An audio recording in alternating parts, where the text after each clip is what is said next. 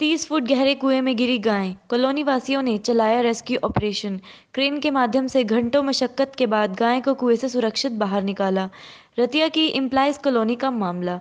शौचालय के लिए खोदा गया कुआँ। कल देर रात लकड़ी के फट्टों से ढक कर गए थे कॉलोनी वासी सुबह कुएँ में गाय पड़ी मिली। बोरवेल और खुले कुएँ बड़ी समस्या बने हुए हैं।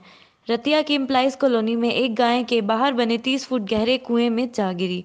कुआँ घर के बाहर शौचालय के लिए खोदा जा रहा था और बीती रात कॉलोनी वासी इसे लकड़ी के फट्टों से ढककर गए थे।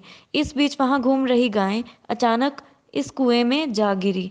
घटना की पता कॉलोनी वासियों को आज सुबह समय पता चला। जब उन्हें कुएँ पर लगा फट्टे, वहाँ गायब मिले। कुएँ में झाँक कर देखा तो उसकी तलहटी में एक गाय पड़ी हुई थी और करा रही थी। कॉलोनी वासियों ने तुरंत वहां क्रेन मंगवाई और घंटों मशक्कत के बाद गाय को सुरक्षित बाहर निकाला और कॉलोनी वासियों ने राहत की सांस ली गनीमत रही कि कुएं में कोई बड़ा हादसा नहीं हुआ कॉलोनी में घनी आबादी होने के कारण बड़ा हादसा भी हो सकता था ਕੀ ਮਾਮਲਾ ਸੀ ਅੱਜ ਇਹ ਮਾਮਲਾ ਜੀ ਇਹ ਸੀ ਰਾਤ ਅਸੀਂ ਫੱਟੀਆਂ ਚਿਣ ਕੇ ਗਏ ਸੀ ਉੱਪਰ ਅੱਛਾ ਜੀ ਖੂਹੀ ਪੱਟੀ ਸੀ ਸੀਵਰ ਇਸ ਗਲੀ 'ਚ ਹੈ ਨਹੀਂਗਾ ਠੀਕ ਹੈ ਜੀ ਖੂਹੀ ਪੱਟੀ ਸੀ ਖੂਹੀ ਦੇ ਕਾਰਨ ਇਹ ਫੱਟ ਢੱਕ ਕੇ ਗਏ ਸੀ ਰਾਤ ਨੂੰ ਜਦੋਂ ਸਵੇਰ ਨੂੰ ਆਏ ਤੇ ਫੱਟੀਆਂ ਫੁੱਟੀਆਂ ਕੁਝ ਵੀ ਨਹੀਂ ਸੀ। ਠੀਕ ਹੈ। ਜਦੋਂ ਨੀਚੇ ਦੇਖਿਆ ਤੇ ਇਹਦੇ ਗਾਂ ਗਿਰੀ ਪਈ ਸੀ ਨੀਚੇ ਹੀ। ਅੱਛਾ ਜੀ। ਫਿਰ ਉਹ ਗਾਂ ਲੈ ਕੇ ਦੇਖਭਾਲ ਕੀਤੀ ਤੇ ਉਹ ਹੈਲਡਰਾ ਮਸ਼ੀਨ ਲਿਆਂਦੀ ਫਿਰ ਉਹਦੇ ਨਾਲ ਕੱਢੀ। ਤੁਹਾਨੂੰ ਸਵੇਰੇ ਪਤਾ ਲੱਗਿਆ? ਹਾਂਜੀ ਸਾਨੂੰ ਸਵੇਰੇ ਪਤਾ ਲੱਗਿਆ। ਅੱਛਾ ਸਵੇਰੇ ਫਿਰ ਕਿਵੇਂ ਪਤਾ ਲੱਗਿਆ?